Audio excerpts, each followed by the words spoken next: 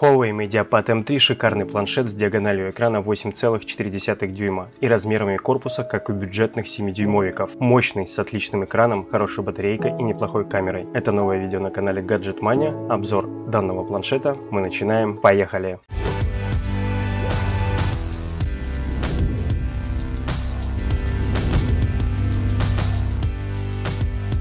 Понравился? О да, пожалуй это первый такой планшет, на который я плотно подсел и которым активно пользовался за все время тестирования. В комплекте с планшетом вы получаете пленку на экран, скрепку для извлечения лотка с карточками, шнурок microUSB, зарядное устройство, наушники AKG H300, только кстати для версии 64 гигабайта, которые очень вкусно звучат. Официальная цена 27 тысяч за версию с 32 гигабайтами памяти и 30 тысяч за 64 гигабайта на борту. И советую такие дорогие вещи покупать на официальном сайте производителя в России. Спинка и грань металл, аэрокосмический алюминий, золотистый или серебристый. Перед глянцевое стекло без скругления и бортиков.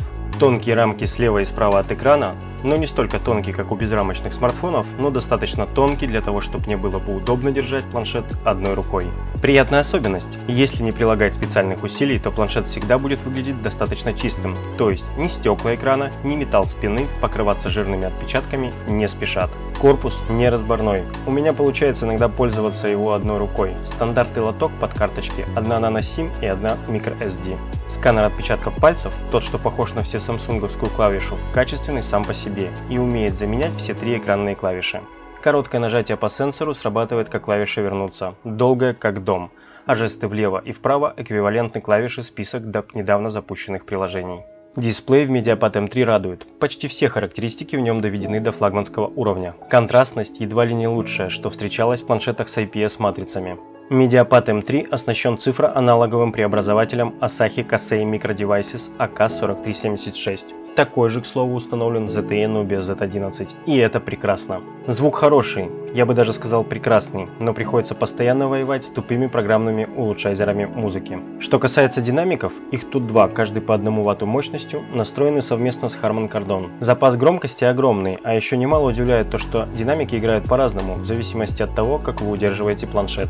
Что касаемо софта, фирменная оболочка Huawei кому-то по нраву больше стандартного варианта зеленого робота, а кому-то очень не нравится. Все зависит от того, по вкусу ли вам смесь дизайна айфоновской iOS с китайским концептуальным пересмыслением андроида. На планшете в принципе пойдет, но как я уже говорил, лучше чистенький Android. Камеры снимают на уровне смартфонов среднего класса, но даже это считается крутизной в современных планшетах. С выносливостью у Mediapad M3 все в порядке. Планшета хватает на пару дней, если использовать его время от времени, или на день, если не давать ему расслабиться часы напролет. Мощный аккумулятор минус высокое разрешение экрана плюс экономичный процессор равняется выносливость чуть выше средних показателей. Игры он тянет неплохо, но вообще он скорее всего для серфинга в интернете. Но вообще это один из самых мощных планшетов на рынке. Флагманских моделей в категории «чтоб как хороший смартфон, но с большим экраном» почти не осталось, а те, что есть, кастрированы до среднего уровня и даже не пытаются быть современными.